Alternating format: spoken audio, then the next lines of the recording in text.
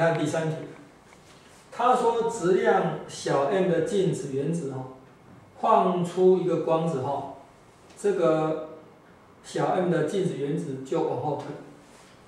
若在实验室中哈，测出该光子的频率是 f，则该原子的内能减少多少？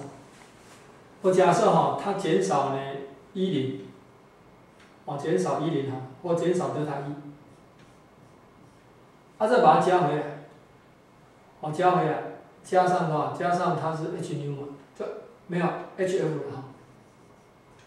啊再加上呢它的什么？它的动能，动能是二小 m 是 p 平方，这个等于零啊，好减少的，加上呢？加上它这个，哦，就是放出去的，再把它加回来，这个等于。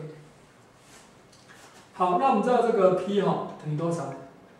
呃，这个 P 哈，它的这个动量啊，嗯，因为动量守恒嘛，所以光子的动量跟它的动量一样，也就 P 实际上是等于多少？等于一除以 c，hf 除以 c。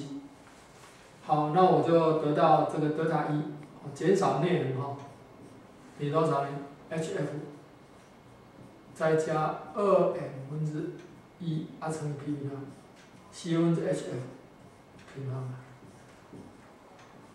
好，那这样子的话哈，我们可以把 hf 呢抽出来，一减掉哎一加二 m c 平方 hf。所以这题答案应该选一。